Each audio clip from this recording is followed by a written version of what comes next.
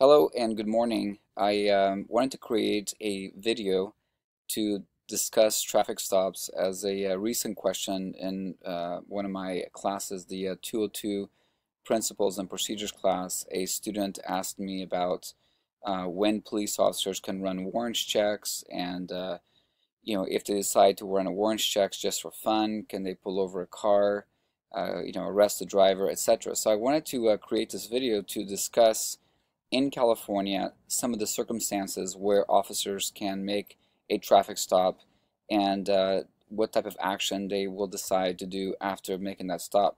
So um, let's go from the beginning. Uh, when I was a police officer and uh, I was on patrol, I remember one morning um, I, you know, we had briefing at the station. I, um, you know, went out to my patrol car, checked everything out, went went on patrol, and as I was driving up one of the roads uh, in northern part of my city, um, a, uh, a, person on the other side of the road, uh, as he drove by me, he gave me that you know panic look, and um, so I made a U-turn. Um, at the time, I was driving an unmarked car. Uh, I was working for the tactical patrol unit, and uh, made a U-turn. Um, as soon as the driver saw me make the U-turn, he pulls into the uh, shopping center and he gets on the McDonald's drive-through. So I went ahead and um, came up into the shopping center and ran a registration check on the license plate for the car. And uh, the car dispatch came back with the person's name who owned the car. We'll just call him John Doe. And so once I obtained the name, um, I ran a registration or a warrants check on John Doe, made him to be about 35, 38 years of age and uh, it came back that he had a $70,000 warrant for sales and possession of methamphetamine, confirmed warrant. And so um, when he uh, was in the drive-through, I pulled up, uh, you know, a little bit next to him. Um, there were other people there, and I said, "Are you, you know, John Doe?" And uh, he replied, "Yes." I said, "Well, then go ahead and pull over as soon as you're done getting your food." So he pulls over, and um, uh, it was interesting. I remember this very well because he uh, begins to tell me of how he's, uh, you know, religious man, um, has completely changed his life around, and uh, you know, no longer does drugs, and he's uh, very thankful that I pulled him over, but that his life is on the right track. Anyway, um, I told him he had a warrant, and uh, I decided not to tow his car, and I arrested him and drove him to the station or to the jail and uh, before going into the jail, I remember asking him um, if he had any narcotics on him because it was a felony to go into the uh, uh, take drugs into the jail as an additional felony, a separate charge. And so um, he told me, no, you know, officer, I'm uh, completely clean. I've never, um, you know, I don't do drugs anymore. I've dedicated my life to the Lord, and uh, you know, I'm completely clean. So when we get to the, we would go in at Sallyport uh, where we search the prisoners. You know, I uh, went ahead and told him to take out his cowboy boots, and uh, you know, he's asking me, "Is this really necessary?" I'm like, "Yeah." And uh, we're doing the search, pat down, and when he pulls out the cowboy boots, uh, and what comes out of the boots? Uh, a couple of baggies of methamphetamine, and so that's a felony. That's a felony charge. Uh, little white baggies, uh, baggies containing white powder substance, which I knew from having worked as a police officer for years and uh, being a certified drug expert that that was methamphetamine. And so uh, I just shook my head and I said, "What is this?" And he's like, "Oh, I, you know, I'm sorry. I didn't know those were in there. You know, uh, type of thing." So uh, I went ahead and, and handcuffed him right away. Um, when somebody lies to you you know that they have the potential to harm you, um, the potential that they also have other drugs on their person. So I went ahead and uh, handcuffed him, took him upstairs to the control part of the jail, and once we got up there, um, the uh, um, the jailers, uh, uh you know, I told him, hey, I want to do a strip search on this guy,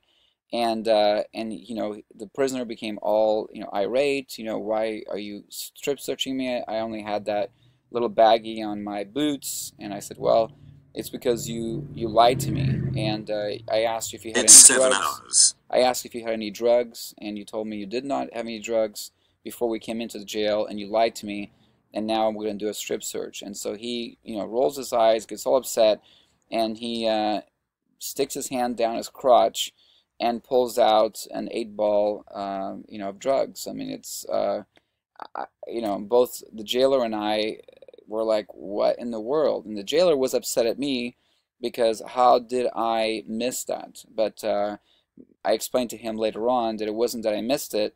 It was the second that the uh, subject took the uh, boots off and the drugs came off, I knew that he was hiding other things. So he was a potential risk to me, to my safety.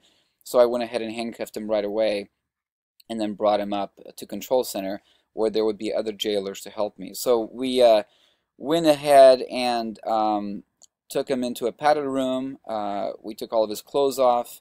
And, um, you know, when we took his clothes off, when he spread, uh, you know, his butt cheeks, uh, he also had um, drugs there, you know. And so uh, he went to jail for a lot of charges, uh, not just the uh, warrant for methamphetamine, but also um, the fact that he had brought drugs into the jail and it was enough to charge him again with possession for sale.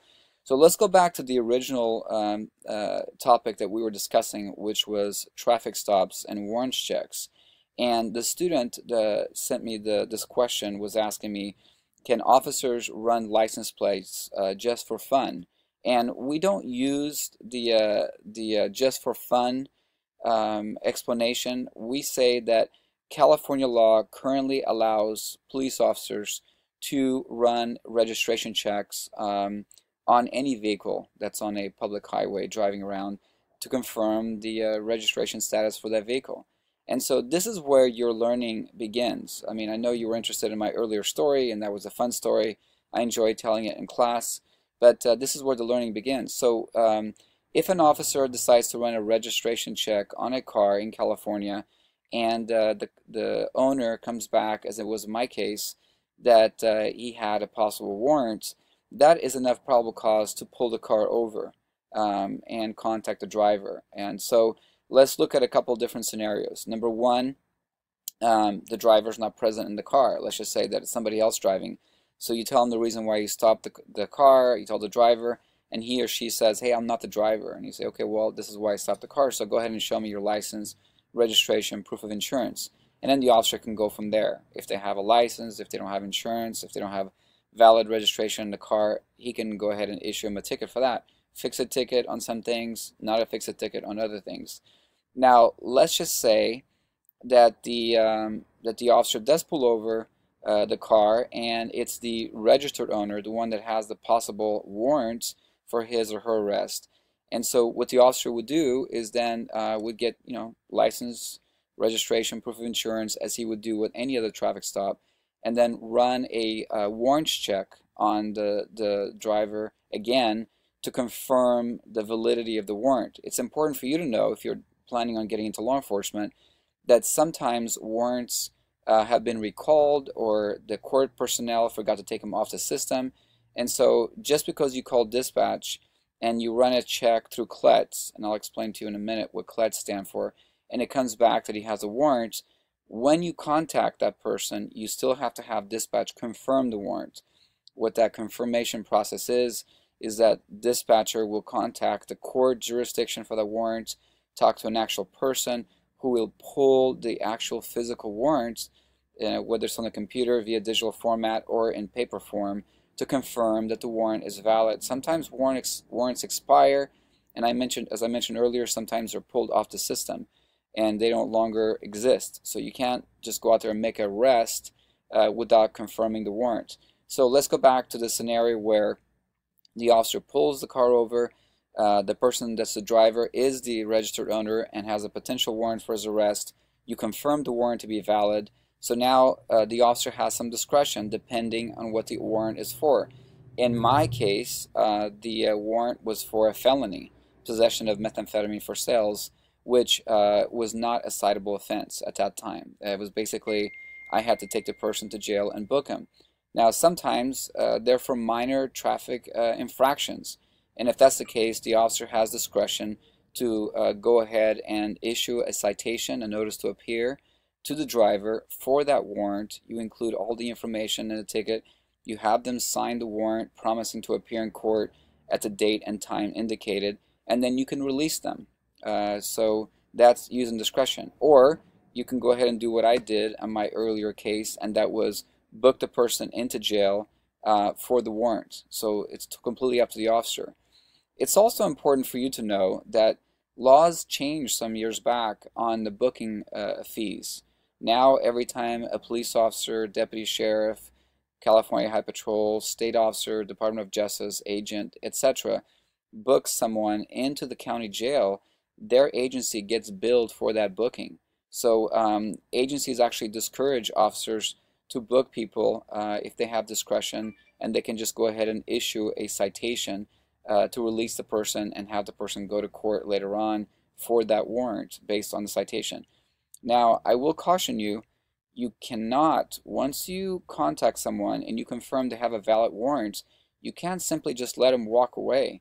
Uh, you as a peace officer can be charged with a crime for not taking action on that warrant, uh, which is valid. It's an order from a judge ordering you to arrest a person and bring him to the courts for processing.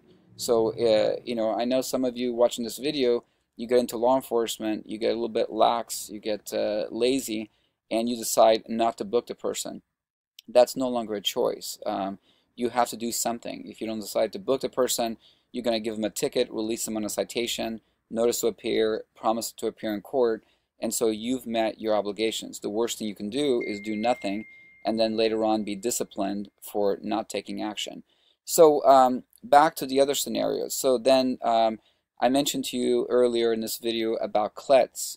CLETS stands for California Law Enforcement Telecommunication System. CLETS is the, uh, the primary source for information for California peace officers. We are also linked with other states. So when we run a check on a person, in most circumstances, they're linked, you know, the check will check other states to see if they're wanted in other jurisdictions. And so it depends on the department you're working with.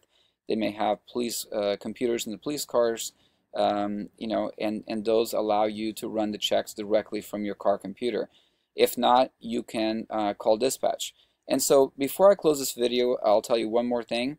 Um, I talk in my classes uh, during my discussions about officer safety. And so um, we, if you decide to be one of those, I say we, we peace officers, we decide to become police officers, we go out there to enforce the law, um, but we don't go out there to get killed. Uh, I mean, there is a risk that we take. Uh, it's not just being a peace officer, it's driving a car on the highway, but we want to minimize risks. Why am I mentioning this to you? Because I was a training officer for years, and um, I always taught my trainees to watch people's hands. I said, you know, don't take your eyes off people's hands. Uh, we think gun guns kill people, but no, actually hands on guns kill people.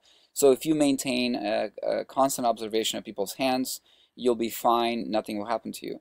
And so uh, if you make a traffic stop, um, traffic stops are inherently dangerous. And so you're getting out of the car, you're maintaining a, a, visual observation on the driver, the passengers, and their hands constantly. You don't take your eyes off their hands.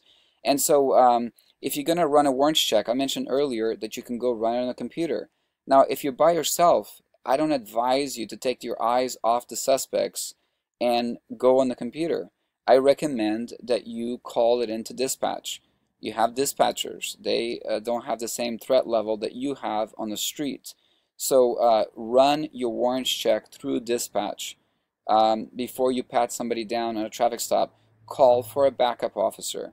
Don't do a vehicle search by yourself. Don't turn your back on suspects. Don't lose sight of the suspect's hands. I assure you, uh, you know, I made it through many years in law enforcement and I safely came out of it uh, without being severely injured. Uh, but the times that I did get into a scuffle or that something happened, it was uh, it was because I failed to look at the suspect's hands. I failed to ignore the signs, and so I want you to know the law, but I also want you to be aware of small um, daily practices that you do as a peace officer that will keep you alive and bring you back home safely to your family and loved ones. So this concludes the video. Uh, as with any videos that I do, uh, please shoot me an email or comments. Um, I'd like to hear your feedback. Uh, maybe you have another question for me. When can officers do this? When can officers do that? This video just simply summarizes uh, the fact, uh, the question that was asked by a student, can officers run license plates without uh,